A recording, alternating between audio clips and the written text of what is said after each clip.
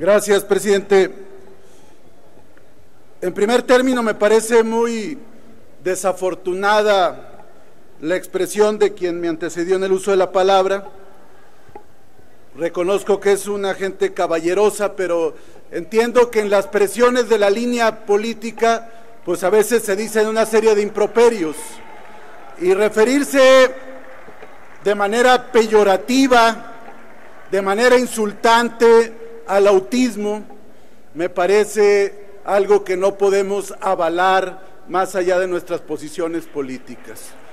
Todo mi respeto a la gente que tiene autismo e incluso a legisladoras y legisladores que han dado una lucha por esa noble causa.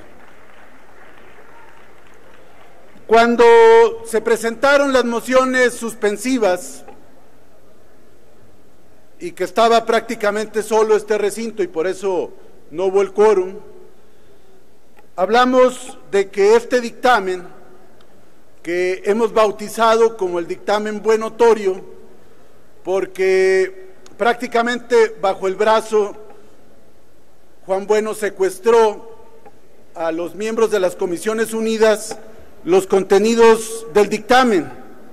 Se había quedado en crear una subcomisión para que analizara este tema tan relevante de los ingresos públicos vinculados a los hidrocarburos y del Fondo Mexicano del Petróleo. Sin embargo, a diferencia de lo que pasó con las otras minutas, las de energía e incluso la de presupuesto, esta se dio como un albazo al origen, al inicio de la sesión. Y por eso nosotros, además de un asunto de convicción política, no podemos avalar este dictamen, que es una negociación entre el PAN y la Secretaría de Hacienda y Crédito Público.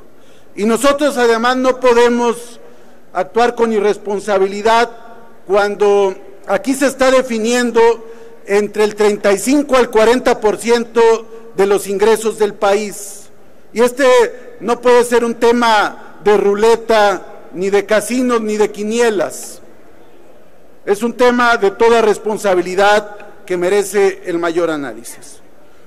Y denunciamos también la interferencia del secretario de Hacienda, Luis Videgaray, y su subsecretario Madmacher, que han estado extorsionando a los gobernadores, que han estado presionando a los gobernadores, aún los de oposición, para que presionen a los legisladores y sean parte de este atraco amenazándoles con retirarles participaciones y castigarlos con los ingresos petroleros del país. Esto es inconcebible y no vamos a soportar este acto de gangsterismo político del secretario de Hacienda y Crédito Público. Y quiero decirle a quien decía que no hemos sabido comunicar que esta lucha no ha sido en vano. Hoy se publica en un diario nacional que Enrique Peña Nieto tiene el 60% de desaprobación entre los líderes económicos, políticos, culturales y sociales del país. Y que un 66% de la población considera necesario una consulta popular sobre el tema del petróleo. Y que estos mismos líderes le otorgaron una calificación de 4.9 al titular del Ejecutivo no confían ni creen en sus reformas porque la realidad lo desmiente. Bajo crecimiento económico, déficit público y paralización de la creación de empleos en el país.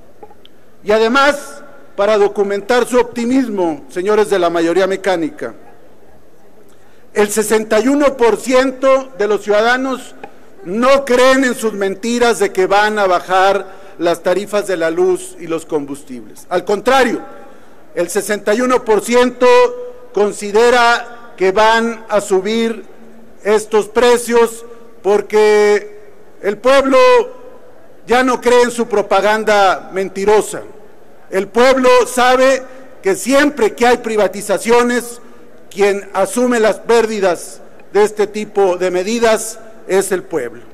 Y en cuanto a esta ley, y para ser respetuoso del tiempo, solamente diremos algunos aspectos. Nos parece que no hay una perspectiva razonable de los ingresos públicos. Hay además una vía libre a la corrupción porque regalías, costos y demás circunstancias que envuelven estos contratos se van a revisar uno a uno con la tutela de la Secretaría de Hacienda. Esto va a dar pie a una gran corrupción y a un contratismo que va a cobrar mayores niveles en el país, generando aún más corrupción. A Pemex, como asignatario, se le va a cobrar un 68% como derecho de utilidad compartida. Pero no hay una disposición correlativa para los privados. Incluso en el tema de los costos hay una generosidad excesiva para que estas empresas se disparen con la cuchara grande. Y aquellos que dicen que a Pemex le están bajando los impuestos, no pueden olvidar que en otra disposición se le va a terminar de sangrar con el dividendo estatal. Por esta razón, nosotros vamos a votar en contra del Fondo Mexicano, concluyo presidente, del Fondo Mexicano del Petróleo, solo decir que no es un fondo soberano, que servirá para cubrir la ineficacia recaudatoria de la Secretaría de Hacienda, para cubrir hasta un 4.7% del Producto Interno Bruto y que además será presidido por el secretario de Hacienda, quien pondrá al auditor y será puros funcionarios nombrados por el Ejecutivo y conforme a la cláusula de impunidad consagrada en el artículo 25 de ese ordenamiento, van a tener manos libres para manejar los más grandes ingresos del país. Y nosotros decimos no a la discrecionalidad, no a la falta de transparencia y no a la corrupción. Gracias, diputado.